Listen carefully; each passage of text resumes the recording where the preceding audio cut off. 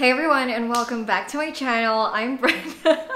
I've just always wanted to start my videos out that way and freak the hell out of y'all and be like, oh my god, who the hell is that? So anyway, hi! Today's video is gonna be a where you go, but it's gonna be a slightly different where you go. It's gonna be the start of my sustainable fashion series. I did bring this up in one of my recent Instagram posts talking about it during the Fashion Revolution week. In the past few years, I've done quite a lot of like fast fashion hauls and stuff like that. And while I love how affordable it is, I love experimenting. And while I will still continue to shop at some fast fashion outlets. I would say a good 50% of my wardrobe is now actually vintage slash thrifted and it's not gonna stop from there. I've cut down on making these hauls specifically because I just feel like I need to be responsible in the way that I'm promoting things and I also wanted to introduce to y'all better, more refreshing content, alternatives and different ways to shop to kind of show you that like fast fashion isn't the only affordable way to kind of go around looking for clothes and if you really want to delve into finding out what your personal style is, if you want to experiment with different things. If you want to find unique pieces, there's no better place to start than at a thrift store because you have a lot of affordable, very wide variety in both sizes and styles and colors and cuts. Today,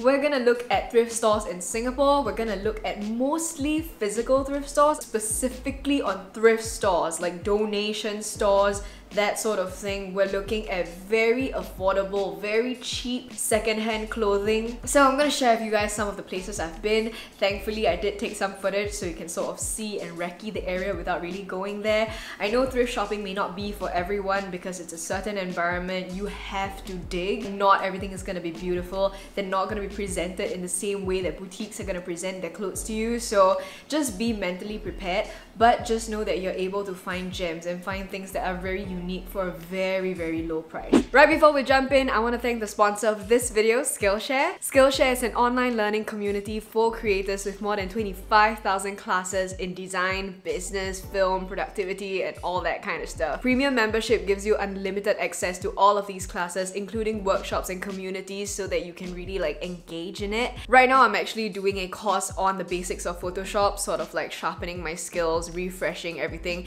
and then possibly moving on to the advanced class by Jeremy Scott, I think. I don't know, I'll leave it down below. But it's really awesome. I can learn on the go, on the MRT. Do, do, do. Whether you want to fuel your creativity, curiosity, or career, Skillshare is the perfect place for you. And you can join me as well as 7 million other creators on Skillshare. Premium membership starts at like $20 a month. If you do annual, it's like $11.50 per month for the entire year. If you want to try it out first, you can feel free to sign up with my link down below. It gives you two months of free premium membership. Yes! Back to the video. now, some of these you may know, some of these you may not know. I'll just start with the most established ones that we know of.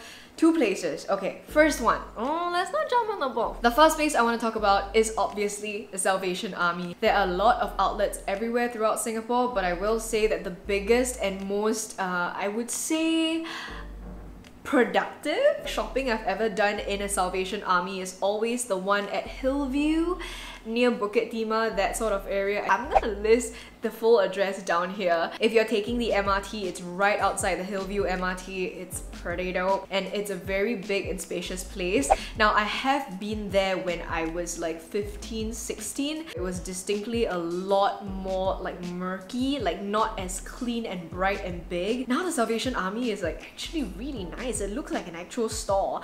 It's very, very spacious, very big, obviously air conditioned. I do need some rack space to filter through the clothes, so I found that it was very easy to look at the clothes. They have a lot of like donations from people around the area. The Bukit Timah, sort of Hillview area has a lot of people that buy like better quality, sometimes branded or sometimes just like nicer stuff. So your chances of finding something that's like branded of a higher quality is higher as compared to some of the other thrift stores I'll be talking about. But it's also very well sifted through. I think a lot of people know at this point that that place is a hidden treasure. Everyone sort of goes there to flip through, especially the women's clothes. When we were there, I felt like I saw maybe five other girls our age there flipping through clothes. I would say maybe three to four like 30 something ladies. And we were there on like a Tuesday afternoon, you know? It was definitely like a non-peak period, so I don't know how the crowds would be either on weekends or like a peak period with all thrift shopping, but I feel especially more for the Salvation Army outlet, it's really down to luck. It's really depending on what people donate. I think they churn out the donations pretty fast. They also do this thing where they tag different clothes at different prices, and that's something that I noticed that is different in Singapore as opposed to like maybe the States because in Goodwill every top is like $7.99 you know? I was in New York last it was expensive. Sometimes it's like $3.99 sometimes it's $2.99 but in Singapore if it's nice if it's of a good brand and they know it they're gonna bump that shit up you know what I mean? And sometimes you can't tell what the price is because it's not there and like sometimes they write it on the logo sometimes it's not. And so we had to bring it to the cashier a couple of times to like check it. And I I don't know if she was just like spitballing a number, you know, but it was decent. The cheapest things we found weren't that cheap. They were like 8 to $10. Most of the items were like 15 or $10 and then the shoes that I got were $30. I think if I'm not wrong, most of the shoes are $30. But the thing is, I went to the counter and I was like, hey, like this one inside is like crackling, you know, can you give me a discount? And she was like, yeah, sure, you know. And then she gave me like a 20% discount. So be nice to the staff. And from what I can see, everyone else was just like super nice to the staff. And I think they're all like regulars, so they're all like friends and they're always talking. It's a very nice sort of like homely environment to be in. I didn't feel very grimy. I didn't feel like I was very uncomfortable. It was very dusty. Sometimes thrift stores, especially in JB or something, can get like that. So yeah, just keep an open mind. Really take the time to flip through, especially because it's quite comfortable to stay there for a while and flip through. We even looked at the homeware. We looked at some art. They have a lot of vases and they're not that expensive. Oh my god, some of them are like four. $280. Some of them are like $30. So it really does depend. A lot of the dresses are also very current and they tend to be like fast fashion, that sort of thing. And they have a lot of wedding dresses. I don't know what to think about that. They have three fitting rooms, it's very roomy, but you're only allowed to bring in I think three or four items max, and you also get a little trolley and everything. It was just a very pleasant experience, but at this point I feel like it's a bit overpicked lah. So you just have to be careful. If you want to score something really great, you're gonna have to go back multiple times and look. I think if I'm not wrong, it is the first thrift store in Singapore. So yeah, that's a little tidbit for you right there. The next place is somewhere that I feel like a lot of people know as well. It's a 3 to 4 minute walk from Bras Basah MRT, but you can also walk from Dhoby Ghaut and Bugis if I'm not wrong. It's a part of the SCWO building on Waterloo Street and it's right next to the corners. Actually, it's on both corners. It's called the New to You Thrift Store and it's one of the most popular thrift stores in Singapore just because it's like the only one other than Salvation Army for the longest time. I love that it's a central location. I love that because it's a women's organization, a lot of women do donate like either work clothes, better quality stuff, or just like more interesting things in general. And every time I've been there, I feel like I've really enjoyed my time there. It does get pretty crowded on Tuesdays, which is students 50% off. And you know what? There were a lot of students there and it was nice. It was just very stressful because I think like a lot of people feel like, oh my god, I gotta look for these things before other people do. And so sometimes people can get a little bit like, it's like a pegro competitive, so it's not like straight out like push you out of the way, but it's just like eyeing your stuff every now and then, you know? Maybe it was just like the day that I went. It's it's kind of cool. Oh, I also bumped into a viewer that was like, hey, I like your stuff. And I was like, oh my god, great. First time that I ever went, I think when I was like 17 or 16, I got this, oh, I still remember, I love it so much. I got this pair of trousers. It was like satin, it was like brocade. Ooh, it was really, really cool. I still have it actually. I, I it's a little tight on me, you know, my ass looks really bad in it, but um, I still hold a lot of sentimental value and I'm just like waiting for the day that I can fit into it again. And I also got this dress that I almost ended up wearing for prom. It was beautiful. That was $40. That was not cheap. But I think, you know, with student price, you can slash it's 20 So I think I got it at 20 They have a lot of blazers, they have a lot of trousers, they have a lot of tops and dresses, even shoes as well. And it's not as comfortable as it is in Salvation Army because the racks are pretty stuffed and the space is generally smaller. There's a homeware section that I didn't really look into because it didn't look that exciting. It's just a lot of toys and that kind of thing. Felt like my time was better spent at the clothing section, so you know, just skip that. They have racks outside on the corridors and stuff, but the cashier is inside and that's the only space that's sort of air conditioned and there's only one fitting room. So I would say if you want to go there, wear something sort of tight and wear shorts maybe so that you can put things on just over there and sort of see if it fits because especially on a Tuesday, there's gonna be a lot long line waiting for that fitting room. It's on the corner. It's just sort of tedious because you gotta wait in line. You're probably like fourth, fifth in line. It's like a semicircle curtain sort of thing. You can't tell people to hurry up and you can only try on like a max of three items at once. So I highly recommend you to just try it on. They have plenty of mirrors sort of out and about. So you can sort of just like see if it fits, see if it doesn't, and you know, put it back. I had a really good haul at New to You. I'm really excited to show it to you guys. By the way, it's gonna be the next video, so stay tuned. I feel like the clothing that I found at New to You is like the closest I've ever gotten in Singapore to like a New York standard Goodwill in terms of like good quality classic pieces. But again, you have to be patient and you have to sift through it. You gotta keep your eye out. There's a lot of different people. The racks are very, very full and it's pretty hot because it's not air conditioned. So, you know, you know. Ooh, also the opening hours are not like the most convenient. It's like 9.30 or 10.30 to maybe like 2.30 p.m. That's just how the dice rolls. You just gotta wake up a bit earlier, you gotta commit. So yeah. Alright, this next place is also sort of like a donation store. It's from a church. I think it's called Minds Collective. Hey, uh, it's me, Editing Brenda. Very sorry, but completely false info, fake news. Oh my gosh, that place is not called Minds. This place that I'm gonna be talking about is actually called Rock of Salvation, and it's right opposite Balestier. Everything else is correct lah. It's just I got the name wrong. So sorry. I'm gonna be talking about Minds in a bit, so just stay tuned. It's walking distance from I think Jalan Besar or Little India MRT, and we went and I just feel like there wasn't much there. Um, it was very cramped. There was no ventilation. There was no aircon, no fan. It literally felt like we were suffocating for a while. And of all the clothes that were there, I think it's a very like family-centric sort of donation store because like I said, thrift stores are very dependent on what people donate. I didn't find anything very interesting. They do have a couple of homeware things, but I felt like for the clothes and homeware because they looked very old, they looked very very worn and nothing was extra exciting. I felt like everything was priced a little bit high.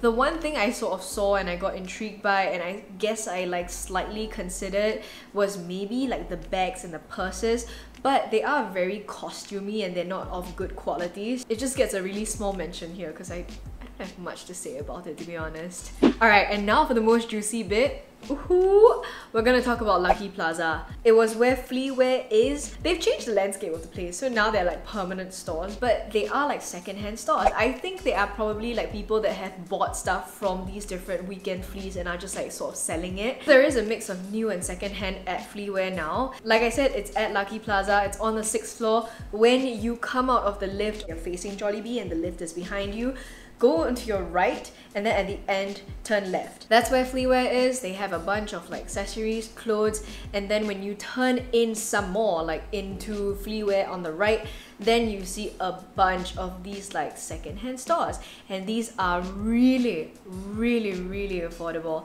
i'm talking either one for five three for ten and i'm gonna tell you in all honesty the clothes in that selection not the best, but you definitely would find like some interesting pieces or some stuff that you're like, oh my god, it's really like a diamond in the rough kind of thing because I just feel like the curation is a bit meh. Like it's very outdated fast fashion Taobao style clothes. You know, some people will like it, some people may not, and sometimes you would find like actual like we found a couple of like Adidas leggings and sports bras. They looked very new and they look great, but I'm not someone that would buy like leggings and sports bras from some unknown source. And they had a bunch of other like coats and stuff. I did find a couple of like diamond in the rough pieces so I'm really really excited about that. And my friend found a couple of like blazers and trousers as well so it really just depends on your luck like I said. But that place is really quite affordable so you can check it out. And plus it's really nearby to the two other places that I'm gonna talk about. The other place is literally just opposite so when you come out of Fleaware this is Jollibee just walk this way. It's just a very very small store. Not much decor at all. The only decor you get is like A4 size $2 signs everywhere Sometimes it's closed, sometimes it's open. I asked the owner slash like shopkeeper and he said that they're open from 11.30 to like 7.30 every day. And when you go in, everything is really just $2. It's like the literal Daiso thrift store. And I found a hell lot of stuff in that place. I can't even begin to tell you what sort of style they carry because they just carry every single thing.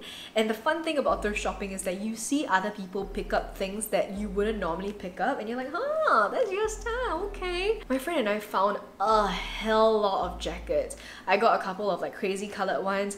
We were like both really eyeing this beige structured one. It was so cute. It was so well made and I was just like, oh my god, I want it so much. But she found it first and it's like her style. So I was like, alright, okay. So that was pretty fun. And I found a couple of other things as well that I will show y'all in the haul. And the last place I want to talk about, oh my god, it's like I'm saving the best for last. We've been there like five times in the past two months, I'd say. It's a relatively new find for us and that's why we were at Lucky Plaza. But dang, that place nice. I think a lot of people know it. I don't exactly know what it's called, but it's a shared store between Refresh and that store. And whenever I like Fave Pay, it says GB Sports, so I don't know if it's like a thing. But that place very very well stocked. It can get sort of overwhelming and for some reason like I always have really bad luck when I'm there. I either don't find stuff or I find the most beautiful stuff that doesn't fit me. Because I have like a pretty average size and I feel like if it was in my size it would have already been snatched up. And the only reason why it's because like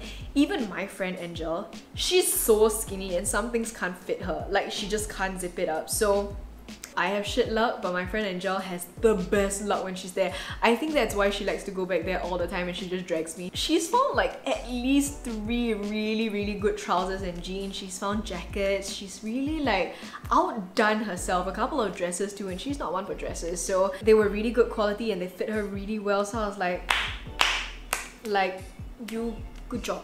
For me, I did find a couple of dresses, but they're not my usual style. So like I said, thrift shopping is a great way to experiment and you know, try something new. So I'm not showing on soon. I'm gonna stop like teasing the haul to y'all. You just know that it's coming up soon lah. Hey. They've got a site for winter coats and then jackets, jean jackets. They've got shorts, skirts. They also have big tables where you can sort of flip through and those are like one for $2, $3 sort of thing. But I don't really flip through them. I flip them sometimes but I really don't spend a lot of time just because I feel like racks are easier to look at. There are flannels, t-shirts, women's tops and then dresses and then more dressier stuff like prom dresses or like ballroom dresses. And on top there are mannequins of like bikinis and stuff. The thing about this store in particular is that I feel like they have a very good eye. So sometimes they can get like fast fashiony stuff or like used stuff but it's still kind of trendy and it's still stuff that I feel like people would still go for. The chances of finding something you'll like is actually a lot higher. So I think if you're a beginner to thrifting and you sort of don't know where to start maybe that's a good place to start just because it's you know more palatable. And they have mirrors at the side and they have this like it's like a just imagine like a sari skirt with like an elastic band over the mirrors. So when you want to try something on you just put the entire like sari skirt looking thing on top of you and you just change underneath. Yeah, it's a fun experience. And the cashier is always super, super nice. They play like fun pop music and it's just like a nice time. And I've met a couple of subscribers there, like we've said hi, you know, I've like felt very comfortable in the space just sort of talking to be like, yeah girl, like that fits. Like I'm like everyone's hype beast when I'm there. Like I'm just complimenting people left, right and center. So it's just like a very homely and chill place, sort of like Salvation Army but a lot like hipper. You know what I mean? What up? Editing Brenda back here again and as y'all recall I promised to talk about mines. We actually went twice. The first time around, for some reason, it was already closed at 4 p.m., even though I think they said like closed at 5 or something like that. And then the second time was a Monday. Definitely no affinity with that place, so we could only stare at it longingly through the windows. And as you can see, I've taken some clips. It's very like targeted towards like middle age to like slightly older women. So I don't know if like people our age would find interesting things there. I cannot vouch for it because I literally never been inside. I think we're just gonna have to go back another day and like maybe do a part two, an episode two topic. Yeah. So that's all for the physical thrift stores in Singapore and I want to throw in a special mention. It's actually an online thrift store called The Kid Story and I've actually sold some of my clothes with them. I had a collection and it was like super cool and I just like really loved it. The owners behind The Kid Story, Yushu and Eliza are very sweet, very lovely people, very hardworking. They are the ones that curate and source all of the stuff that's listed online so I'm gonna list them down below. You can also check out my collection if you want. Uh. So yeah, I think those are all the thrift stores in Singapore. Like I said, I was focusing on very, very affordable, truly like the meaning of thrift shopping, like thrift-based, donation-based sort of places. I do have a separate video coming up that's planned for like vintage shopping in Singapore, so I'm gonna delve into some of the stores that I found and I'm very excited about that. But I need to film, I need to have some research, I need to like know much. So it's gonna take a little bit of time. In the meantime, if you like this video, don't forget to give it a thumbs up and also subscribe to my channel. I make new videos all the time, every week, sometimes twice a week, sometimes once a week. I don't know if it's three times a week, I could go crazy. So if you wanna stay tuned, hit that subscribe button. Bye! Oh wait, if you have any more recommendations of thrift stores, if I missed out, also let me know. I would love to check it out. Okay, bye for real.